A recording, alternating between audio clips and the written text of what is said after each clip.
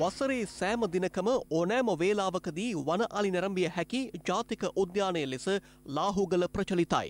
වනෝද්‍යානය මායිමේ පිහිටි වැවතුන අවට බෙරුශාකය ව්‍යාප්තව තිබීම හේතුවෙන් වන අලි රෑන් දවසේ වැඩි කාලයක් මෙම වැවතුන ආශ්‍රිතව සැරිසරනවා. ලාහුගල වනෝද්‍යානය ආශ්‍රිත වන අලින්ගේ ගහනය ඉහළයාමටත් එම සතුන්ගේ පුෂ්ටිමත් බව වැඩවීමටත් හේතුව බෙරුශාකය අනුභව කිරීම බවට සැලකෙනවා. බෙරුවලින් හා වන අලින්ගෙන් පොහොසත් ලාහුගල ජාතික වනෝද්‍යානයේ වපසරිය හෙක්ටයාර පන්දහසක් පමණ වනවා. එම වපසරිය තුළ වනජීවී නීතිය ක්‍රියාවේ යෙදවීම පිණිස වනජීවී දෙපාර්තමේන්තුව විසින් අනියුක්ත කර සිටින්නේ බලේලත් නිලදහරීන් සිව් දෙනෙකු පමණයි. උද්‍යානයට අයත් වැවතුනෙන් එකක් වන සෙංගමුව වැවේ සිට උද්‍යානයට මේ ආකාරයෙන් මාර්ගයක් තනා ඇති බව හෙළිදරව් වන්නේ සහකාර උද්‍යාන බහරකරු ඉකුත් බදාදා එහි ගිය අවස්ථාවේදී. මෙම මාර්ගය අවසන් වන්නේ ගල් කොරි දෙකකින්. වන අලි සරණ මෙම ස්ථානයත් ගල්කොරි දෙක පිහිටි ස්ථානයත් අතර දුර පරතරය මීටර් පන්සියක් පමණ වනවා.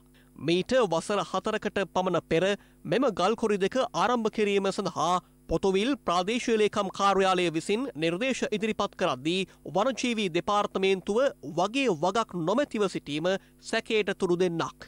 මෙම ගල්කුරි දෙක පිහිටි ප්‍රදේශය අයත් වන්නේ පොතුවිල් ප්‍රාදේශලේකම් කොට්ටාශයට නොව ලාහුගල ප්‍රාදේශලේකම් කොට්ටාශයටයි. ඔය ප්‍රශ්නය මට වාර්තා වෙච්ච වෙලාවේ මම අපේ ග්‍රාම නිලධාරීවරයා ඒ හරියට යවුවා.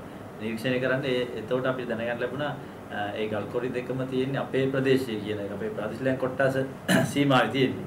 නමුත් මේ වෙනතෙක් අපි ඒ සඳහා අවසර පත්‍ර නිකුත් කරලා නැහැ මොකක්වත් ඒ සම්බන්ධයෙන්. ගල්කොරි කරගෙන යාම සඳහා කිසිදු අවසර පත්‍රයක් ලාගුල් ප්‍රාදේශීය ලේකම් කාර්යාලය නිකුත් කරලා නැහැ. නමුත් මේ කලාපය වනජීවී කලාපයට කලාපය තුල පිහිටනවා කියන සැකය අපි මතුවෙනවා. මොකද ඒ ගැසට් සීමාව ඇතුලේ වනජීවී කලාපය ඇතුළේ තියෙන මේක ඇත්තටම සංවේදී කලාපයක් වන ජීවි වනජීවී බහුලව ගැවසෙන ප්‍රදේශයක්.